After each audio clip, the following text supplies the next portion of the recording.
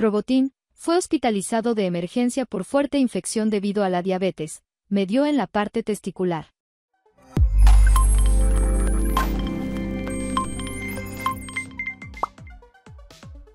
Alan Castillo Vázquez compartió un mensaje con sus seguidores y adelantó que estará alejado de los escenarios por un tiempo.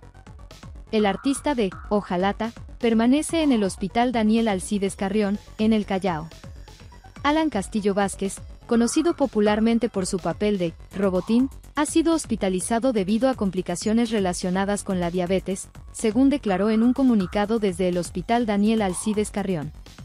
A sus 37 años, el artista enfrenta un momento difícil de salud, lo que ha generado preocupación entre sus seguidores. El mismo Castillo reveló, mi glucosa está en 350 mg barra diagonal DL y ya me están poniendo insulina, pero saldremos de esta y, Robotín, regresará con el doble de fuerza y ánimos. Alan Castillo ha cautivado a multitudes con su característico traje de hojalata, entregando humor y alegría a través de su personaje Robotín. Sin embargo, ha tenido que hacer una pausa en sus actuaciones debido a un descontrol de su diabetes, que ha desencadenado varias infecciones en su cuerpo, sobre todo en la parte testicular, y presenta síntomas como empañamiento de vista, fiebre y mareos. Delicado de salud. El traje de Robotín aún seguirá colgado por unos días más hasta recuperarme. Gracias a todos por sus lindos comentarios positivos y por el cariño que me tienen.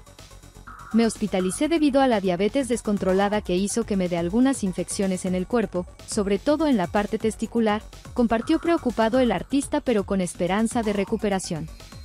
El impacto de su hospitalización ha resonado fuertemente entre sus seguidores, quienes han llenado de mensajes positivos y muestras de cariño las redes sociales, deseando una pronta recuperación al querido cómico.